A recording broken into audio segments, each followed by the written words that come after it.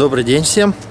А, Как я обещал в последнем своем рассказе про прицеп Z1, а, рассказать про а, модернизации следующей. А, Значит, прицеп, который мы сделали, он получил более мощную раму, более энергоемкую и мощную подвеску, калитку, ну и кое-какие мелочи. Я вам сейчас подробненько расскажу. Вот он прицеп за мной. Значит, что сразу бросается в глаза? То, что рама не имеет хребта. Она сделана из э, вот такой вот трубы.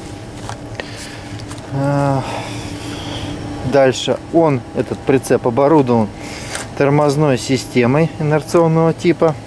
Ну, стойка опорная. Ящик э, достаточно большой, он с автомобильным уплотнением. В принципе, все осталось как и на предыдущем прицепе.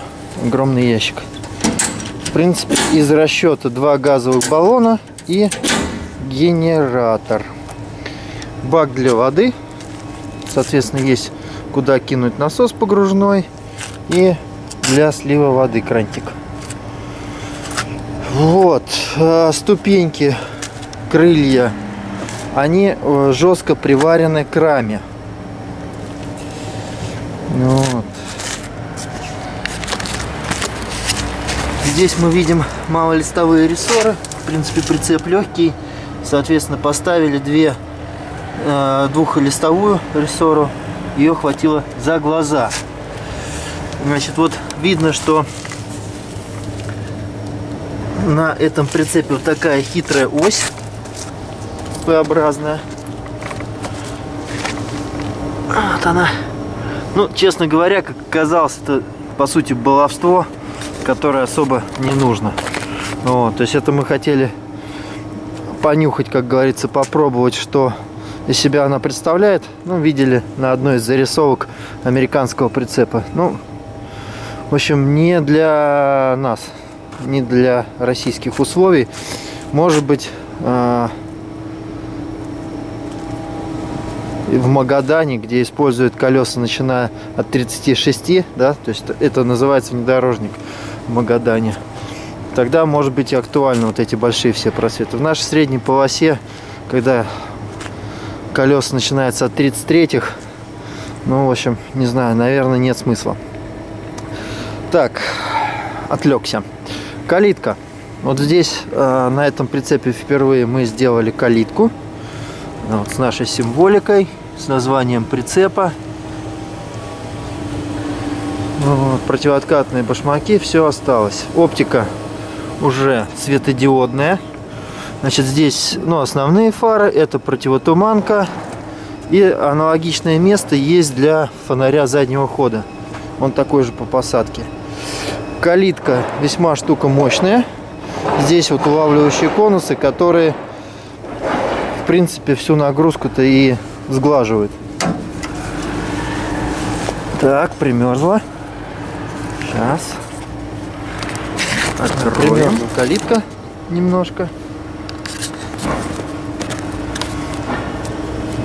Значит, вот так вот это выглядит в открытом положении ремень удерживающий, стояночные упоры.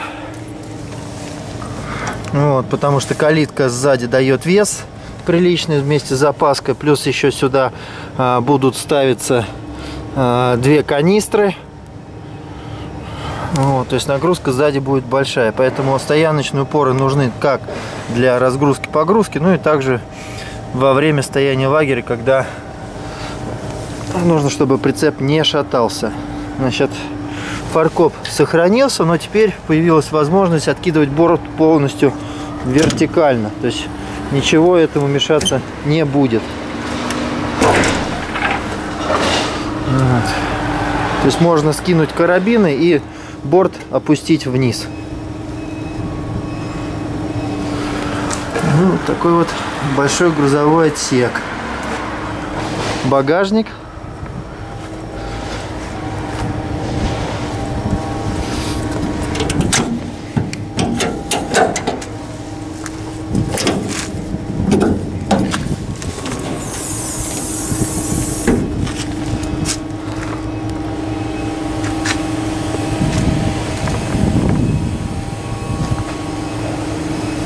и переборки, для которых, точнее на которые можно крепить шансовый инструмент, столешницы, все что угодно. Значит, еще один у нас прицеп в работе.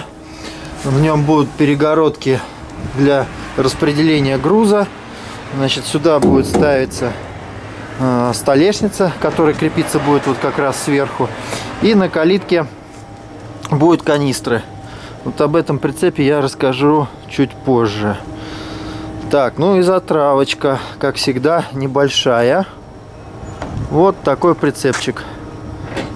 О нем я расскажу тоже чуть позже.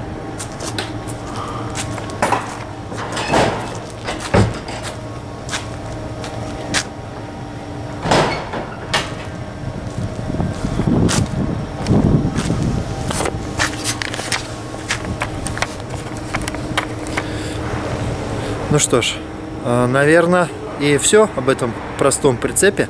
До новых встреч!